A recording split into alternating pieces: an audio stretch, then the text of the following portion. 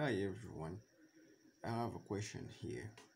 People have been asking me, inboxing me, and they have been asking me how to calculate the circumference of a small circle under the topic of earth geometry. And uh, I just decided that I kind of make a short, quick video to just quickly help someone understand this. It's pretty much a simple concept uh, that you can actually use. Now before that i just want to make this clear so that uh, we can get the whole concept. That way it will be much easier and much um, uh, useful yeah, for everyone who might have the same challenge. Um, mostly they kind of ask this same question in two ways okay? Now about the circumference um, they can ask you to say uh, let me just get this pamphlet here just show you something. So like here they can ask you uh, you can uh, let's focus on uh, question b. You can see b saying show that the circumference of a circle of latitude x degree on the earth is 21,600 okay. Now that's one way they can ask you how to calculate the circumference under the, uh, the same topic earth geometry. Or they can ask you to calculate the circumference of a small circle. Okay now what happens if they asked you to calculate um, uh, to show the circumference of a circle uh, of latitude x degree on the earth uh, to be 21,600 okay uh, in, in my class I explained this with a very simple concept. Let me just get that mic clear. Okay so um, what we can just do is we want to show that circumference is equal to 21,600 nautical miles.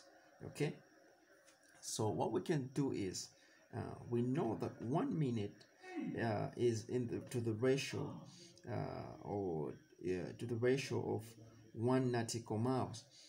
Is equal to we can say 360 degrees the ratio uh, of circumference.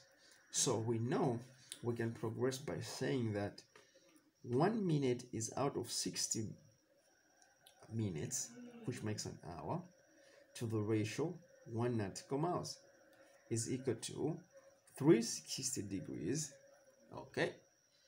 360 degrees to the ratio circumference. Now we know that this expression here okay this expression here can also be denoted or represented as 1 over 60 over 1 okay?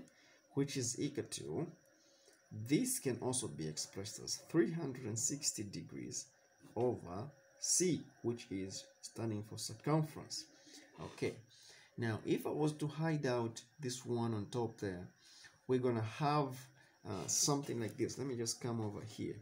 We're gonna have 60 over 1 which we can agree that this can also just be expressed as 60 because 60 divided by 1 is 60 so what i'm going to do is i'm going to express this fraction here i'm going to simplify it so I'm going to have 1 over 60.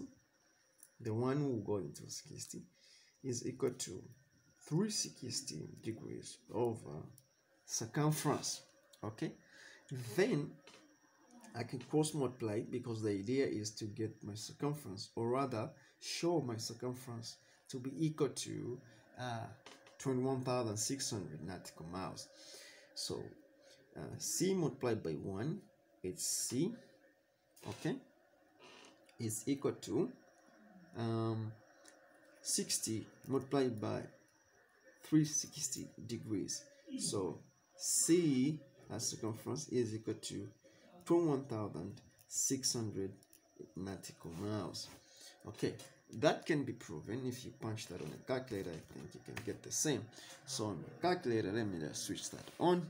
On my calculator I'm going to punch 60 by 360 degrees which is giving me 21,600 so that is how you can show them if you've been asked to um, to show the circumference uh, of a circle of latitude x degrees to be 21,600 now the other way you can be asked to calculate circumference is actually in this way okay?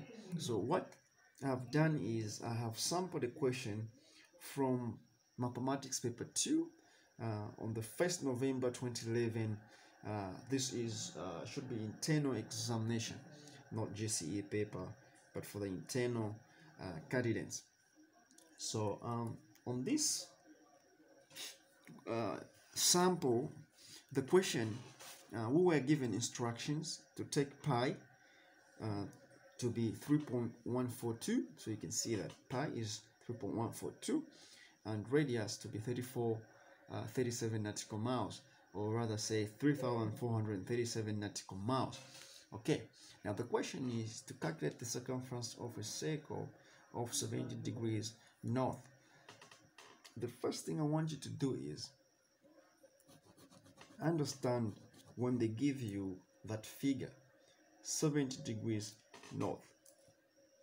70 degrees north. So i know that since it's north i know on my diagram or in my mind i know that is a latitude okay so 70 degrees north latitude meaning that this particular latitude is 70 degrees was heading on the north. So i tried to draw the diagram just to show you uh, it's a bit rough but it's a sample of the actual diagram that was in the paper. So I quickly draw uh, the diagram. So you can see that point P and Q are lying on the same latitude which is 70 degrees heading to the north. So now the question is to calculate the circumference of that particular circle of latitude 70 degrees. Okay so this tells you that you are calculating the parallel latitude. So if you were asked to find the circumference of a circle the circumference let me just bring it here the circumference of a circle the circumference is equal to 2 pi r. Not so. That will be the formula 2 pi r. Now what i'm going to do is to show you that um, circumference in earth geometry on the same arrow here you gotta be careful because the same arrow here is representing um, two things. We have in earth geometry we usually use a capital R and a small r. so when we use a capital R, we are trying to say that the radius is coming from the greater circle formed by the zero degrees, the equator, or the circles along the longitudes. Okay, so in this case, we can see that we're calculating a parallel latitude 70 degrees north, meaning that the radius that it has is denoted with a small letter r. So in the formula that we're supposed to use to calculate the circumference, we'll say circumference is equal to 2 pi r. Okay, now let me remind you how to get uh, r. Remember, r is representing um, the radius for this circle formed by this latitude 670 degrees. How do we get radius? So quickly, the formula to get in radius is radius is equal to r cos theta. So in other words, what we're saying is that r is exactly equivalent or equal to this. So this makes more sense such that in my formula, I can now say circumference is equal to 2 pi. The r can be replaced, okay, because we are saying that r, okay, r is equivalent to that. So meaning that my r here can be uh, can be replaced by its equivalent cos theta okay where the theta here is representing the degree of a latitude okay so i can proceed by calculating circumference of latitude 70 degrees. So I'm to say circumference is equal to 2 multiplied by pi has been given as what? Remember, we have been given pi as 3.142. So um, pi is 3.142 by, okay, radius has been given in nautical miles as 3,437. So it's 3,437. Okay, let me just push that up more clear. By, okay, now cos, cos, okay, um, theta, which is the degree of the latitude, 70 degrees. So I'm going to say cos 70 degrees. Now, remember in the first quadrant, 70 degrees is falling in the first quadrant, meaning that if I was to punch this uh, in the first quadrant, it's going to give me a positive. Why am I saying so? Because in the first quadrant, all the many uh, trigonometric ratios turns out to be positive. You remember that? If you didn't watch my other video about the quadrants, the four quadrants, you can just um, uh, check out the videos. Okay, so what I'm going to do is I'm just going to punch the whole this whole lot of that on my calculator. Okay, so I'm going to punch. Okay, so I'm just going to try to make my point here by starting to punch the cos of so that you see that it will give us a positive answer. So I'm going to say cos 70 degrees. It's giving me a positive 0.34, whatever that number is. Okay. okay, so what I'm going to do is the number that I've just found here, I'm going to punch. Um, let me just do that to get the whole picture there.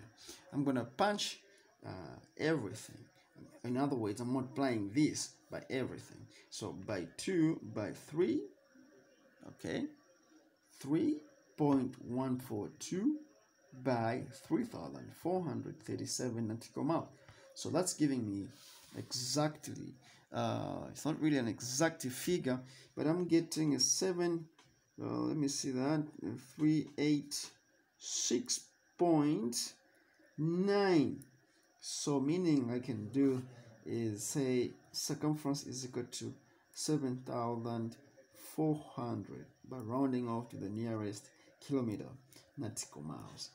That um, is how you can easily calculate for the circumference of any small circle of latitude or that's how you can calculate um, the circumference of any parallel latitude. So i hope guys you enjoyed uh, the video and i hope you've learned something. I hope from now on you're no longer going to face any challenge when calculating uh, uh, circumference of a small circle of uh, latitude thanks guys. And see you next time